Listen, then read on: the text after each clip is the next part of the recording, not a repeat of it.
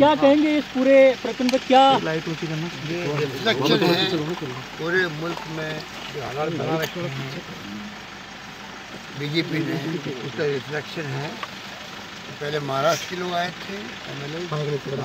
मध्य प्रदेश के हमारे गुजरात ये नौबत क्यों आ रही है देश के पूरे मुल्क के अंदर इतना आतंक का माहौल बना दिया है।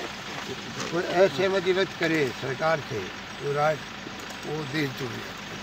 इस मुल्क में लोकतंत्र कहाँ बचा है।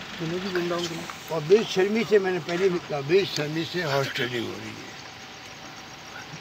इन हालातों में मुल्क चल रहा है। आप सोच सकते हो दुनिया में क्या हो है। बढ़ाने की ज़रूरत नहीं होती है।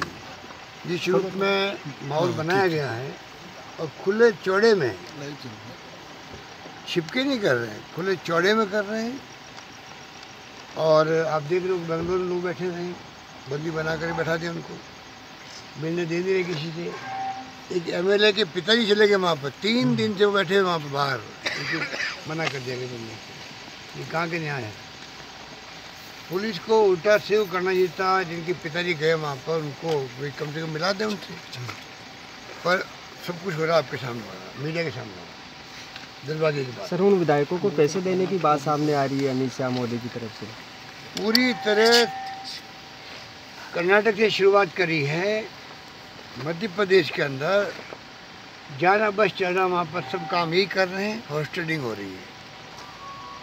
गुजरात के विधायकों के आने का क्या बता दीजिए, क्यों आने, क्यों आना चाहते हैं? हो सकते हैं हम लोग। इतना दबाव है मानसिक रूप से।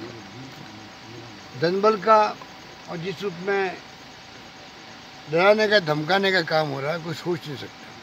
इस कारण से सब कुछ हो रहा है देश का। पूरा मुल्क देख रहा है और मुल्क इनको बख्शने वाला नहीं है बख्शेगा नहीं टाइम आने पर। सर जयपुर